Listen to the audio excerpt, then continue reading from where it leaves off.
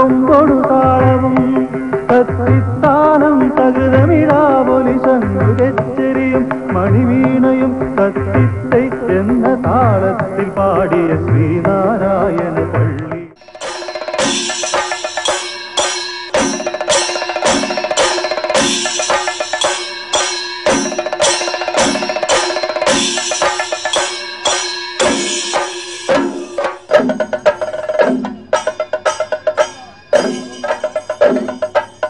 കേരളത്തിന്റെ തനതായ താളവാദ്യങ്ങളിൽ പരമപ്രധാനമാണ് ചെണ്ട.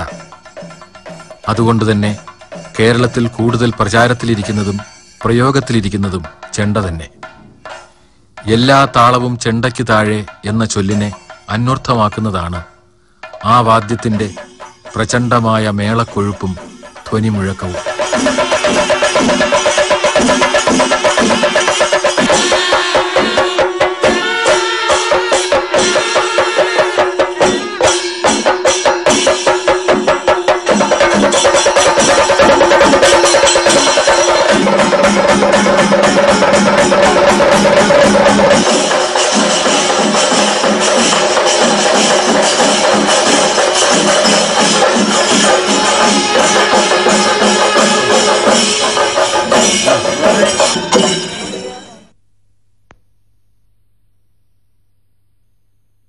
നല്ല കാതലുള്ള വരിക്കപ്ലാവിന്റെ തടിയാണ് സാധാരണ ചെണ്ടക്കുറ്റി നിർമ്മാണത്തിന് ഉപയോഗിക്കുന്നത്.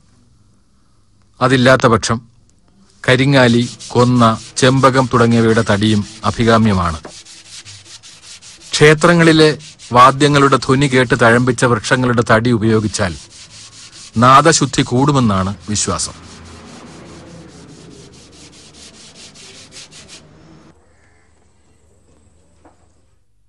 ആറു വയസ്സിനുമേൽ പ്രായമുള്ള പശുവിന്റെയും കാളയുടെയും തോലാണ് ചെണ്ടവട്ടങ്ങൾക്ക് ഉപയോഗിക്കുന്നത്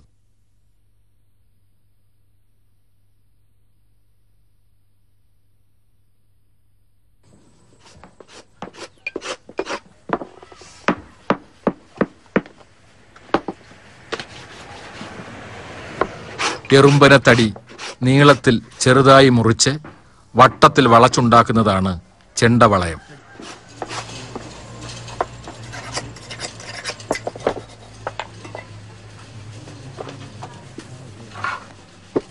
ഈ ചെണ്ടവളയത്തിലാണ് ഉണക്കിയെടുത്ത തോൽ കുതിർത്ത് പൊതിഞ്ഞ് ചെണ്ടവട്ടമുണ്ടാക്കുന്നത്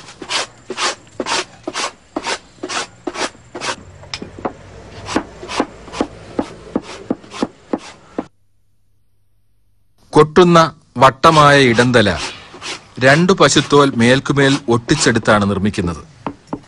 അടിവട്ടമായ വലന്തലയിൽ കട്ടി കൂടിയ കാളത്തോലാണ് ഉപയോഗിക്കുന്നത്.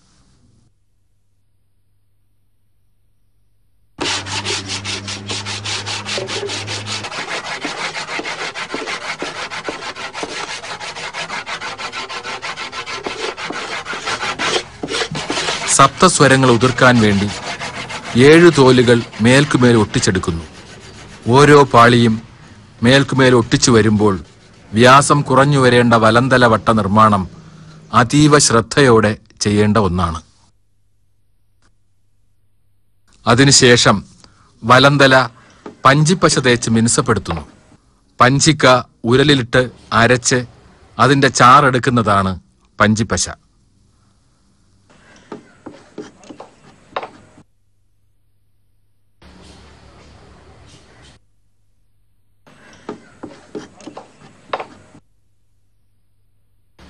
ചെണ്ടവട്ടത്തിൽ പന്ത്രണ്ട് സുഷിരങ്ങൾ അഥവാ ചെണ്ടത്തുളകൾ ഉണ്ട്.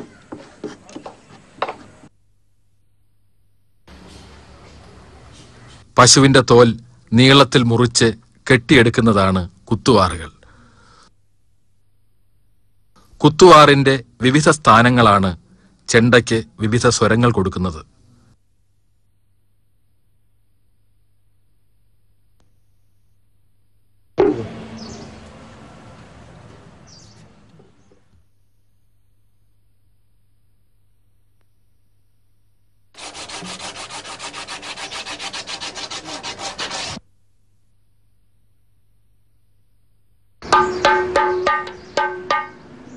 പിരിച്ചെടുത്ത ചണച്ചരടാണ് ആദ്യകാലങ്ങളിൽ ചെണ്ട മുറുക്കുവാൻ ഉപയോഗിച്ചിരുന്നത്.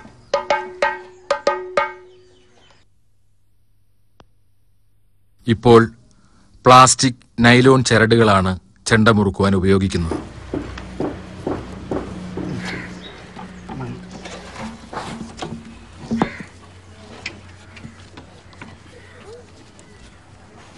പതിനൊന്ന് കുത്തുവാറുകൾ ഉപയോഗിച്ച് ചരട് മുറുക്കുന്ന പ്രക്രിയ അത്യന്തം ശ്രമകരമാണ്.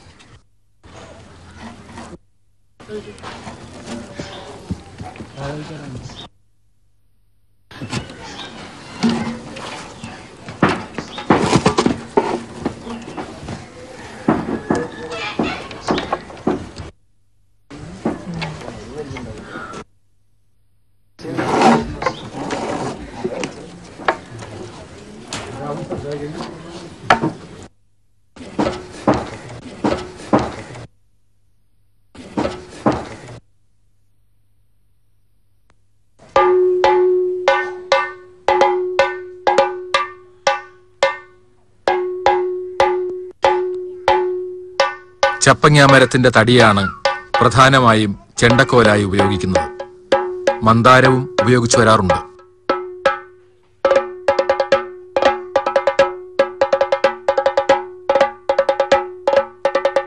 ഇപ്പോൾ ഏതു മേളത്തിനും താളക്കൊഴുപ്പേകാൻ ചെണ്ട തയ്യാറായി കഴിഞ്ഞു.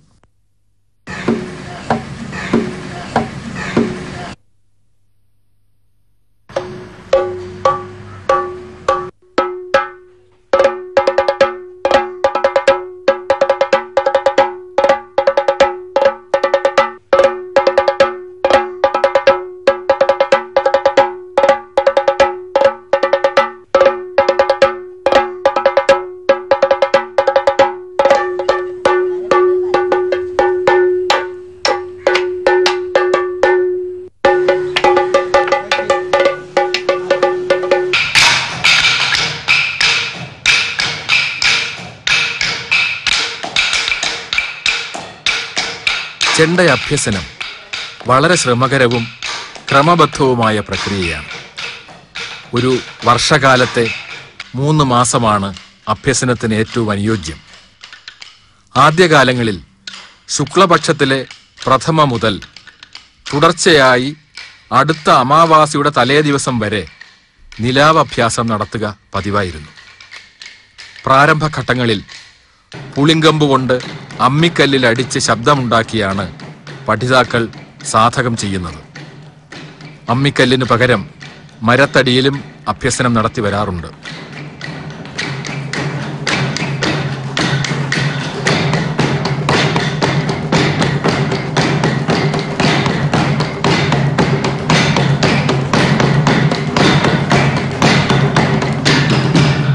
ബാലപാഠങ്ങൾക്ക് ശേഷം ചെണ്ടയിൽ തന്നെ ചപ്പങ്ങാക്കോൽ ഉപയോഗിച്ച് അഭ്യസനം തുടരുന്നു.